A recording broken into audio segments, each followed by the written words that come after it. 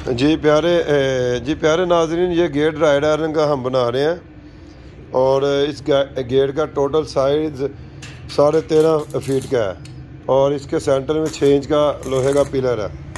तो अभी ये देखे ये कारीगर साहब ने ये पैनल अभी सेट किया है बड़े गेट को। तो अभी इसके ऊपर टांके जो कच्चे लगाए हैं, अभी इसको मुकम्मल पक्का करेंगे।